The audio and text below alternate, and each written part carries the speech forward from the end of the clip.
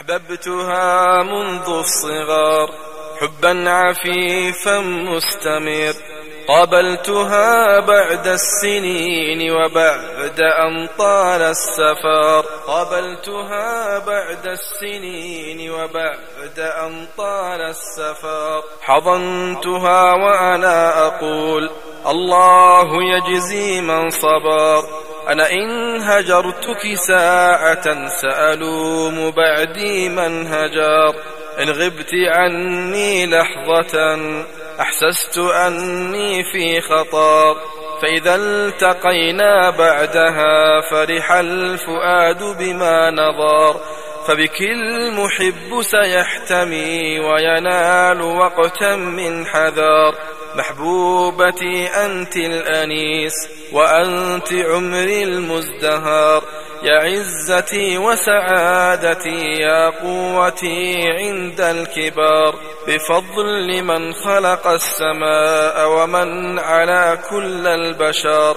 ثم بفضلك أحتمي من كل شر أو ضرر. ولا أحس بأن قلبي قد بدا فيه الخوار. دنوت منها هامسا.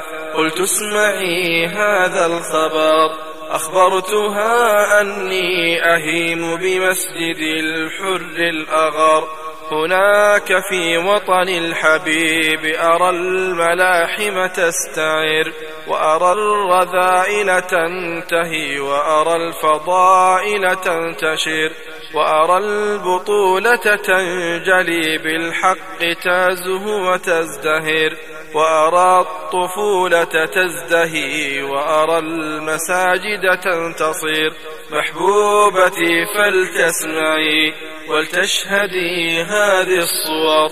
طفل صغير مسلم بالصخر يرمي والحجر. طفل يعالج عينه بقذيفة فقد البصر.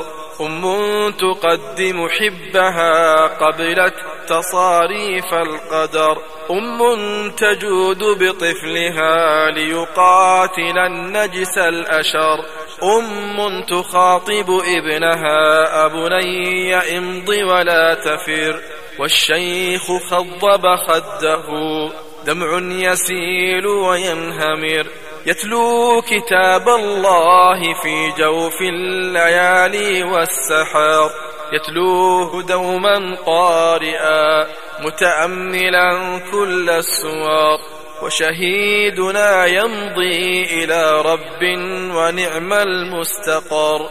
يمضي إلى دار الخلود إلى المليك المقتدر. ليعيش في غرف الجنان الحور فيها والنهار. وشبابنا ذاق المرار فما استكان وما ضجر والشعب فجر ثورة بدم ودمع مستمر فجهاده له السبيل ليوم نصر منتظر يا شعبنا لا تبتئس إن الفلاح لمن صبر حزنت وقالت ليتني أحبو إلى تلك الأسر لأعين طفلا معدما لأضيء دربا للبشر لأبيد جيشا حاقدا جحد النبي وما شكر لأميتهم وأحيلهم إلى السعير إلى سقر. أنا لست من عشاق ليلى أو بثينة أو سمر.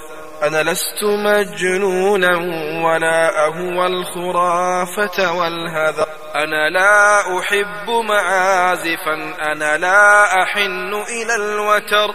إني أحن إلى صلاح قائد الجند البرر.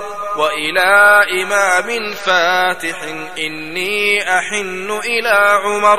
أنا مسلم أحنو إلى لحن الرصاصة والحجر. أنا مسلم أحنو إلى لحن الرصاصة والحجر.